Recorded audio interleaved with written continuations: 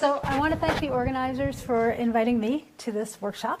I'm going to talk today um, about diffusion-based metrics of perfect for biological uh, network analysis. And in this workshop, of course, we're going to be seeing a lot of pictures like this. Um, and the problem that I want to talk about attacking today is the issue that comes from the fact that many of these uh, networks are so-called small world networks. Uh, probably a lot of the people in this audience would like to um, quibble with me about the definition of small world network. I see we have some experts here who have studied various small world properties of the network, like Natasha and, and Tatiana here. But um, we want to um, worry about um, when everything is nearby, then it's very hard to define an issue of a local neighborhood in a network.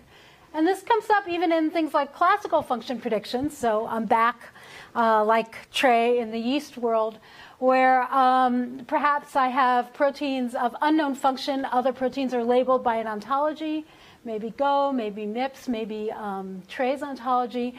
And I am trying to maybe assign labels to proteins. Well, what a lot of people have said is, well, let's look in the local neighborhood of a protein. Let's see what the labels are of proteins that are close by. Maybe that will allow us to infer something about the label of my protein. And, and the problem with that is that everything is close by. So if we look at a histogram of shortest path distances in yeast, this is, um, again, Baker's yeast, um, and maybe the data is about a year old or so, but um, if you look at the shortest path distances, almost everything is distance two or three apart. Okay, so if I want to look at my neighbors, my neighbors' neighbors, very soon I get the whole network. And what's going to rescue me from um, getting confusion is that I claim that not all short paths are equally strong indications of similarity.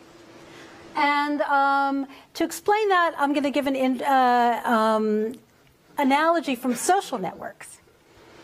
So, um, so I, I, think there are a bunch of people whose pictures on this slide you might recognize. Um, so um, you guys know who this is. Donna Slonim. She's sitting, sitting right there. And uh, Mona Singh is not here yet, but she's also a co-organizer of this workshop. And you know, clearly, I know both of these um, colleagues quite well. And um, however, Trey Ideker, who gave the talk this morning, I'd actually never met in person until today.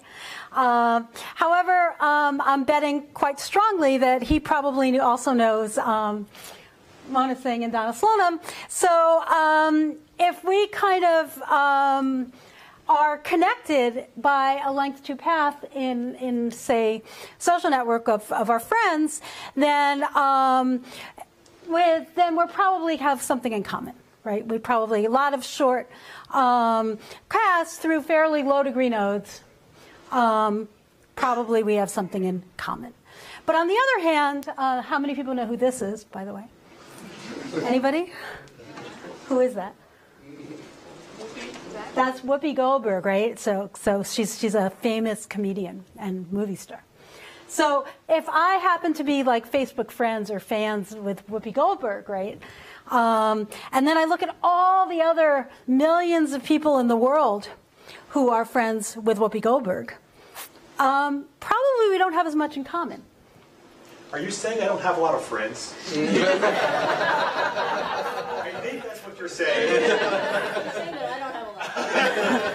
I'm saying that she doesn't have a lot. no, um, but what, I, what I'm saying, what I'm saying is, is that, is that all right? So maybe instead of Whoopi Goldberg, I should have put up Beyonce or, or the president of the United States. So, so compared to them, we don't have a lot of friends, um, or at least a lot of um, people who would like to claim they're friends, right? So, so somehow that if you have a big, um, high degree famous node in the network and you look at last two paths through that, I claim that has less similarity. So, so this is a social network. Maybe I should get away from these dangerous analogies here. Um, because actually, it, it, does tend to be the same in biological networks. If you look at the things that are giant hubs in biological networks, um, they could be things like chaperones. Okay, they could be things that are deal with the general machinery of the cell. And if you look at the things that interact with them, the things that interact with them might be interacting with them and they're not very functionally similar. Maybe this is something that, you, that degrades proteins in the cell. Uh, it's the vacuum cleaner. Um, a lot of things are going to interact with that. They're not going to have a lot of functionality things in common. So it would be nice to design some kind of way to talk about similarity in these biological networks that kind of takes this into account. Um, so if we want a more fine-grained measure of pairwise similarity, I claim we need a new distance metric. Um, where recall, I mean this in the mathematical sense of a metric, which a metric is something that satisfies three properties, if you remember your linear algebra axioms. Um, you only get zero if and only if you're looking to yourself, it's symmetric, and it satisfies a triangle inequality. And once we have a distance metric, we could look at the pairwise distance of all the different pa uh, pairs of nodes in the network. And this is that histogram again. When I look at shortest paths, which is a distance metric in the yeast network, just about everything is distance two or three. Okay. So um, I'm going to give you a definition of a new metric, which I'm going to call diffusion distance. And I have this picture up here, which is also somebody in the audience. This is Ben Hescott. He's also talking about different stuff on Wednesday. Um, and everything I'm going to talk about today, just about, except for some of the new work I might mention at the end, is all joint work with um, Ben Hescott. Um, so what do we do? We define um, this HE vector between A and B to be the expected number of times the k-step random walk starting at A reaches B. Okay?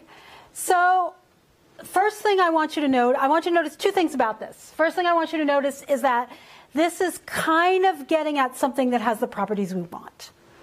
So, if A and B are uh, me and Trey, okay, then you're very likely to get there in a short random walk because we're joined by many uh, paths through low degree nodes, so these paths are likely to hit.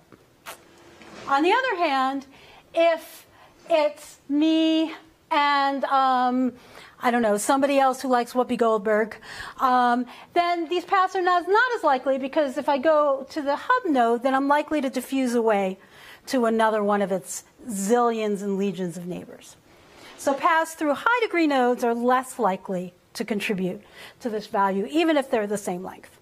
So, so that's good. But we're still not a metric yet, right? And the reason we're not a metric, this is not even symmetric yet. For example, if I'm in the center of this flower, um, then for any particular petal, my probability of going there is fairly low. But if I'm at the petal, I'm always going to go to the center, right? So this is so this is not even a symmetric function yet. So this is what I'm going to do. And there's a lot of math on the slide, but actually it's very intuitive. So let me walk you through it. Um, so again, we're defining that um, HE vector between two nodes A and B. For a particular node A, I'm now going to set up a vector which is its HE value to all the other nodes in the network. So think of I'm taking a global view of the whole graph. It's like I'm scattering breadcrumbs. I'm looking at for every other node how often I reach that node in expected value.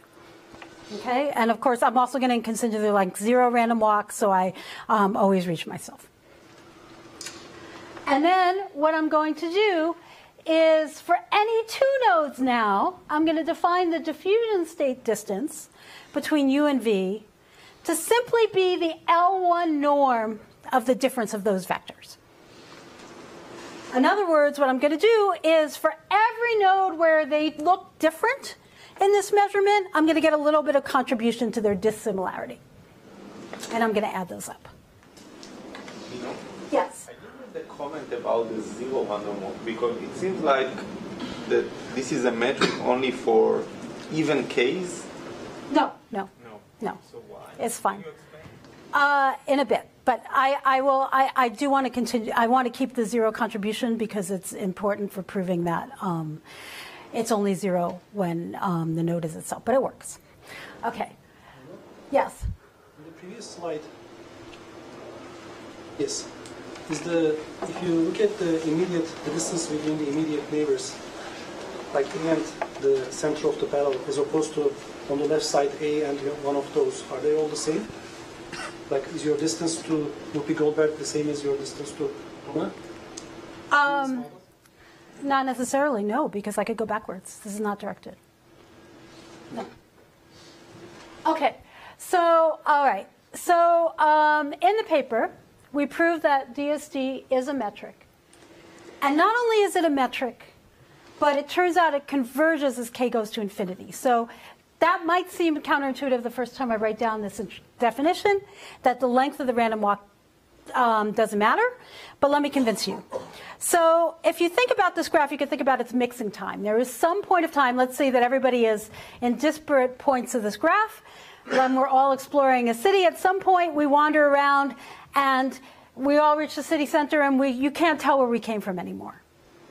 At that point, our rest of our random walk is making equal contributions to these values.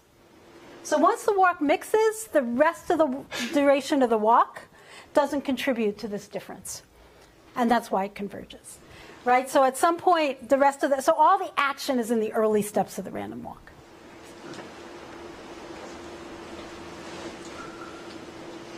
Okay, so it turns out that um, you can convert. You so clearly, if you're doing up to particular case steps, it's easy to compute. You can also compute the converged DSD matrix, um, and it's just an eigenvalue computation.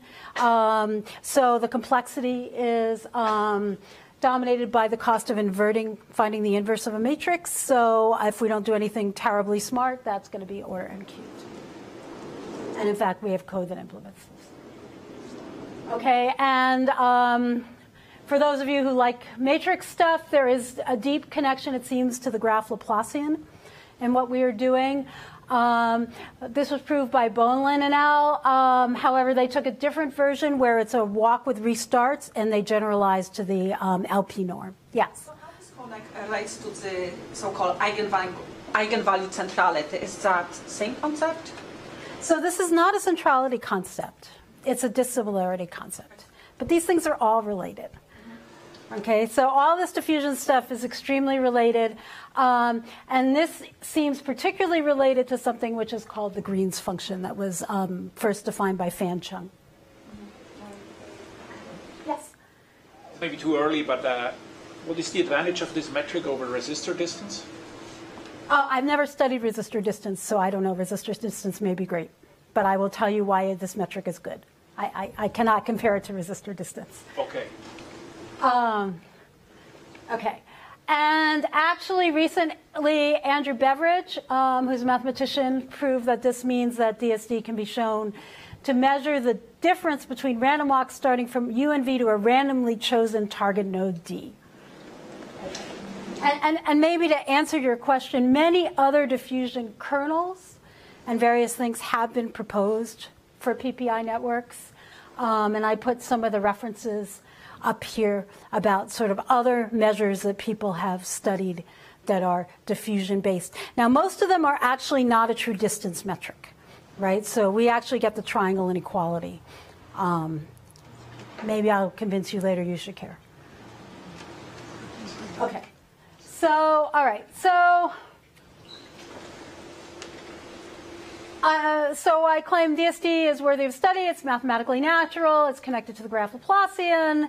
It's conversion independent of the la- length of the random walks. And we have specifically designed it to downweight pass-through hubs. Okay, so, so but we're not going to care unless we can do something good in the applications domain. Um, and this should, should um, intrigue you, which is that when I actually write down that histogram for DSD distance on the same network, I get this beautifully, almost normal, smooth set of distances.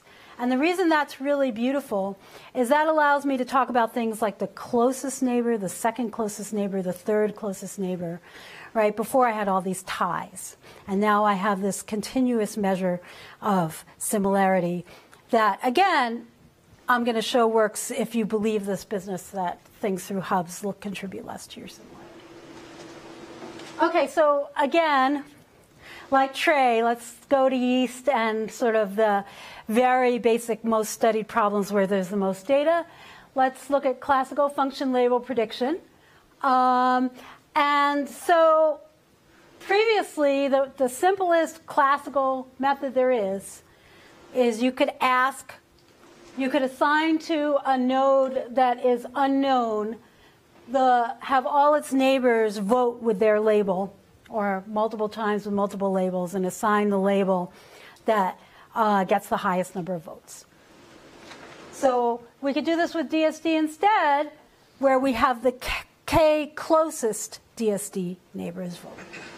And in fact, we're not going to just do this for this, we're, we're going to do this for four different classical function prediction methods. We have sort of the normal method that I claim, even if they don't describe it this way, at some level is based on the shortest path distance underlying it for determining similarity in the network. We're going to look at majority vote. Neighborhood is a generalized majority vote to distance more than one. Multi-way cut method, functional flow method, and then we're going to look at a DSD version of these problems where we somehow incorporate the DSD distance instead. All right, so let's and, and and here are some more references for other people who have made important contributions to classical function prediction methods. I'm not going to talk about clustering methods. There's a wonderful survey of Sharan of all the work that was done to date by 2007. I'm sure there's been double the number of papers since because this is just a problem everyone works on. Okay. So, and what is the network that I'm going to show you experimental results on? I'm going to do cross-validation on the yeast PPI network. Um, and this is a BioGrid version of the network for now. Um, it has about 5,000 nodes, about 75,000 edges. And we're going to do 10 runs of twofold cross-validation where we erase half the labels and pretend they're unknown and uh, do prediction. And we're going to report mean and standard deviation. Thing I want you to pay attention to is accuracy, where um, we're just going to mark the percentage correct when we assign each node its highest ranked label. We also compute something called an F1 score, which gets more into the sort of precision recall trade-off. Okay, so people have talked about lots of uh, ontologies, but no one has yet mentioned the MIPS FunCat. This is an ontology that is really only available for yeast, but the nice thing about it is it's a leveled hierarchy. It only has three levels. Um, and on the top level, there are 17 categories that are things like cell cycle or DNA. The second level, there are 74 categories, things like DNA processing. And then maybe you're on the third level at 10.0105. There's DNA repair and recombination. There are 154 categories on the third level. We also have results on GO that I will describe. The problem with GO is, of course, it's a variable length hierarchy with lots of different lengths passed. And there's a question of how you give partial credit if you match an ancestor of another term. And, you know, there are ways people deal with that. We'll discuss that as well. Okay, and, and so here's a little piece of the yeast interaction network and sort of gets at the power of doing this. Um, if I want to know the nodes in closest DSD distance to GLR1, it turns out the closest one is this MXR2. And it turns out to have the right functional label. The interesting thing about this is it's not even a direct neighbor. Um, but it's the closest in DSD distance because it has the most common neighbors. So DSD is somehow getting at that notion. Okay, so majority vote is I just told you I'm going to have all my neighbors vote on my label. That's the classical method. DSD majority vote, I'm going to have the K closest neighbors where K is a parameter. And here are the results. Um, if you noticed, um, original majority vote is doing about 50% on the top level of the MIPS hierarchy. And Oh, and DSD weighted versus DSD unweighted. These these 10 or 12 closest neighbors have different DSD distance. We could have them vote equally, or we can have them vote in inverse proportion to their DSD distance. It turns out it doesn't make a lot of difference. Having them vote weighted improves things very slightly. So um, when we do that, you see the, the probability shoots up above 60% the minute we um, include about I don't know, eight or nine, ten neighbors. Once we have at least 10 neighbors, it kind of stabilizes out and it's pretty robust. So let's say we're going to set k equal 10 for the remainder of this talk. We'll just look at 10 neighbors and have them DSD vote. And then we get similar improvements on the second and third level. Um, I'm running short on time and I have a lot more slides. So I am going to skip descriptions of some of these other functional flow, Mona Singh's, multi-way cut.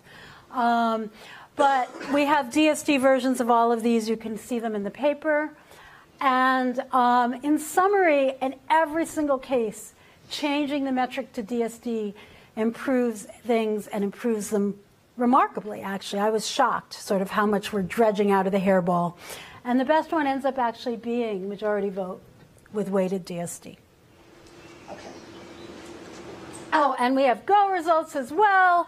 And if we're going to do GO results, um, we want to worry about this giving partial credit for partially matching the GO term at a higher level of the hierarchy, but the percent improvement for all these methods of counting is about the same. Again, DSD is always helping you. Um, and we also did S. pombe uh, just to do a sparser network. And proportionally, of course, if you have a sparser network, you're not going to do as well. But DSD helps you even more on sparse networks than it does on well annotated networks. So, which is good because we want to apply this in sparse context. Okay, so I'm going to skip all this. Um, more time than you think that clock is a couple minutes past. Oh, okay. I'm racing away here. All right. Thank you so much. So, how much more time do I have? Do I have like 10 minutes? Five. Five to seven, yeah. Five to seven. Okay. So, so far, diffusion metric was defined for function prediction on biological networks. Um, and, and, and, what I would, uh, one of the things I want to say is that a lot of people are like, there's all this diffusion stuff out there. Why DSD? And I would say two things. I would say this whole class of methods is powerful, but part of the power comes in somehow designing your thing to measure the thing that lines up with whatever biological property you care about. In this case, I think the insight that we want to downweight pass through hubs was really important. And therefore, we came up with a diffusion process that did that. If there's something else you're trying to model in your network, you want to change your diffusion process and model that. So, a good question is sort of what are the properties that really mean similarity in these biological networks? And then, and then we can try to model them. And this first paper um, was published in PLOS ONE. Um, there's code. You can come up with something that computes your DSD matrix. Um, everything's publicly available, and the paper's freely available. Okay, so but eventually we don't only want to do function prediction, we want to do the other thing people tend to do when they walk around these kinds of networks, which is disease gene prioritization. Um, and given a set of seed genes known to be implicated in some complex disease, we want to rank a set of other genes as most related to the seed gene set based on the PPI network. This is also a very well studied problem, and diffusion based methods are known again to perform best. Um, but so, in order to study DSD for gene, gene prioritization, um, so DSD gives a gene gene distance, several natural aids. So you immediately get a disease prioritization method if you generalize DSD to a gene gene set distance. So you have a set of disease genes, you want your distance to them that defines some kind of order for disease gene prioritization. But before I do that, I have to deal somewhat with the human network. When I deal with the human network, I'm going to be dealing with other kinds of data because it's too sparse. I'm going to be dealing with co-expression data, very other kinds of data, a lot of which are noisy. So the first thing I want to do is something that Tamer talked about, which is I want to put confidence into my network. So, all right. So, so now I should say that um, these are slides that were made by uh, Mengfei Cao, who's the first author on both these papers, my graduate student. And um, he does like calligraphy as a hobby, and he's like much better at making pretty slides than I am. So, so the quality of the graphics of the slides go way up here. All right. So we have some data quality issues that um, you could have false positives and false negatives, as we discussed. Um, and in BioGrid, they don't give you a confidence, so we had to assign one. We did the simplest thing that uh, Gitter et al. suggested, which is that we just classified evidence as high throughput and low throughput, and then we um, came up with a score based on how many publications supported the interaction. So this is not based on the data, this is just based on the number of publications in BioGrid. And that gives you some kind of thing. So AC maybe is supported by one publication with high throughput techniques. AB is supported with one publication with high throughput techniques. BC maybe with one publication with high throughput techniques. CD with one publication with low throughput techniques, and so forth. BE with two publications with high throughput techniques. gives me some kind of weights on the edges. And all I do is I rescale these probabilities so that they add to 1 and become probabilities out of a node. And now I just walk my network using those probabilities. Couldn't be easier. Call it CDSD. Not, nothing different in the algorithm, nothing different in the computation of the matrix, just using um, weights on the edges. And the other thing that I'm very interested in is incorporating known biological knowledge into my network as well. So biologists know a lot about pathways, sets of nodes that somehow work in concert. And the other thing I'm interested in, which is, is we're still work in progress, is how to talk about important nodes in the network. Um, so how could we incorporate pathway edges? One thing we could do is just say, well, these are well curated edges. Let's just bump their probabilities way up and put them in naively as high probability edges and do what we did before. But that's missing crucial relationships between the paths, right? We actually know that in this graph, um, A and C to D is special, whereas A to C to E doesn't mean anything. And yet, if I just put the edges together, there's nothing that distinguishes ACE from ACD. So what am I going to do? Um, instead, let's do that. But at the same time, let's put the pathways also in as duplicate nodes as in their coherent wholes.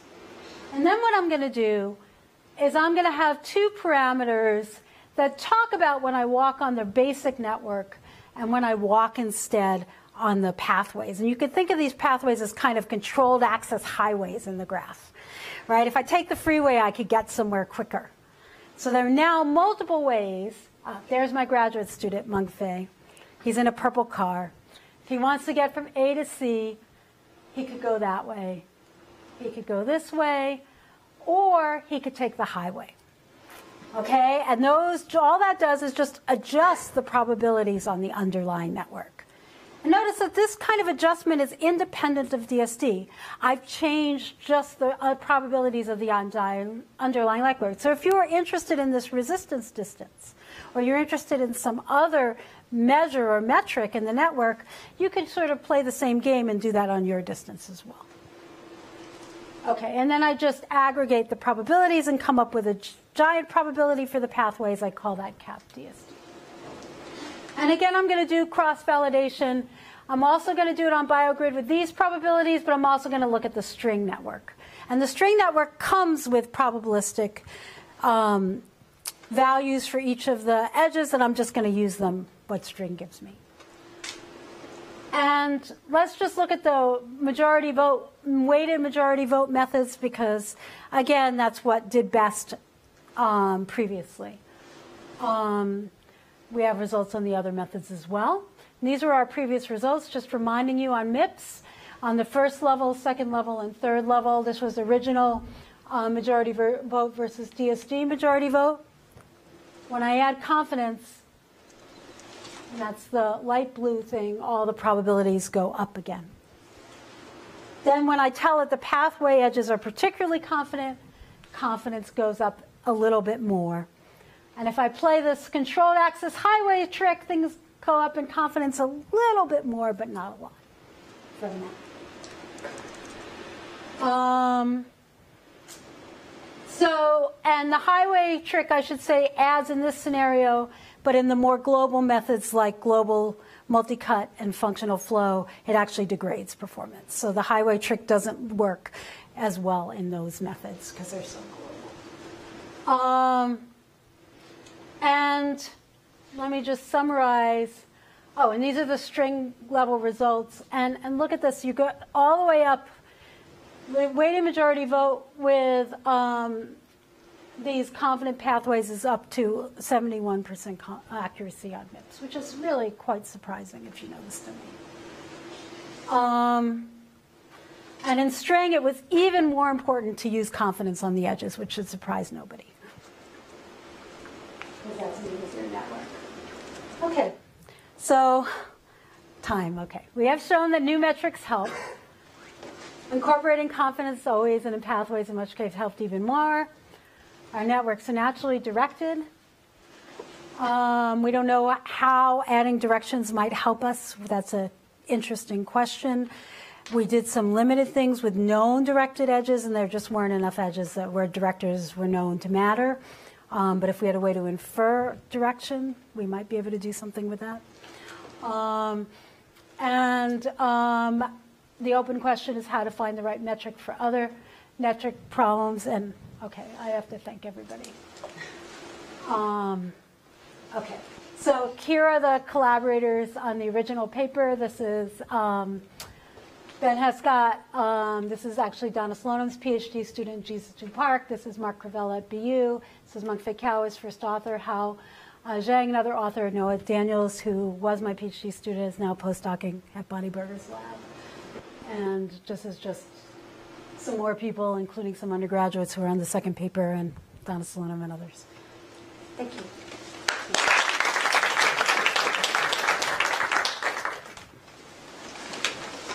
Time for like a quick question or Like two. a really simple question, when you calculate the DSD at the beginning, Yeah. um, do you exclude the two nodes you're computing? You No. don't? No, You, you include all the nodes? all the notes, Including themselves? including themselves. Yes. So just a quick question. You never looked at hitting time or commute time. This is a hitting time formulation. So, so not commute time, but you can rephrase a lot of what we're doing in terms of hitting time. I did not show that oh, today. Same, right? It's not exactly the same. Right now, we're looking at something that I can show you offline called the exit frequency distance, and it is it can be definitely formulated in terms of some hitting time. I, I ran out of time before I was able to talk about I'd this. like to see that. Yeah, happy, but it's nothing to do with the commute distance. Commute commute time is a different way to symmetrize the random walk, and it doesn't look like this. So in terms of setting the label with the top K neighbors, what was your final choice of K? So we reported results in the paper for k equals 10. Um, however, the results from k- between k equals 10 and k equals 20 basically didn't change. That depends on the node. So you can imagine node, right, it, it- it must depend on the node. Yes. So I wonder if, if there's an improvement you could get by somehow adding an optimization to choose that K based on some network properties in that neighborhood. So have it scale by degree or something. Something like that. Yeah, it could be. Uh, We didn't try it. That's a great idea. Related question, uh, can you say anything about the convergence rate in- as a function of k? Uh, not as a function of k. Um, oh, as a function of that k. I'm sorry, there are two k's somehow. I, that was my mistake. Yes, yes, you can. You, um, we know a little bit about the convergence rate. One thing I do know is making it a lazy random walk where you allow, where you put in some restart prob- probability is going to speed the convergence because um, this there are two there, there, there are two ways to look at this. In one way, um, letting the random walk restart is more natural, and the other way, this is more natural. But if you let the random walk restart, I think convergence speeds up. Actually, I think it'll converge faster. Thanks. I think we'll take the rest of the questions over lunch. So Thank thank you you. guys, and we'll be back in two.